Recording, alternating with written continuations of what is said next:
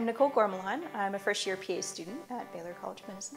I started out my career as a biomedical engineer and I was sitting around designing implants and helping with medical devices, but I realized that there was always going to be a desk between me and a patient. The PA career was really appealing because it allowed for a lot of lateral movement. It really allows for flexibility as my life changes to um, choose things that interest me. And I just liked the ability to be able to move fields like between pediatrics or ER.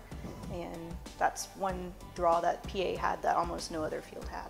One thing about Texas Medical Center is that people from all over the world seek care here. I've seen patients that come over from you know, Saudi Arabia or patients that have fairly rare diseases. There's just so much opportunity for learning because there's such a diverse population here. I grew up in Houston, so I always knew about the Texas Medical Center.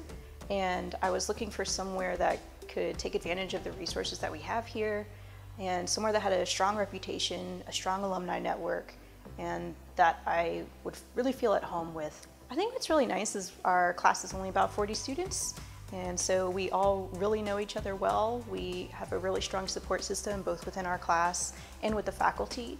I feel like I can walk into any faculty member's office and have a conversation with them, whether it's academic or just as a mentor.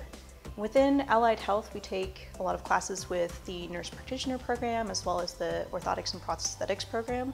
So we've been able to develop some professional relationships, learn about what their profession does, and we also take several classes with the medical students. So I think it's a good foundation for learning how to work in, on an interdisciplinary team. From early on, we start seeing patients starting in August or September. So we really learn how to interact with patients and perform a good physical and history from, from the start and learn how to interpret that.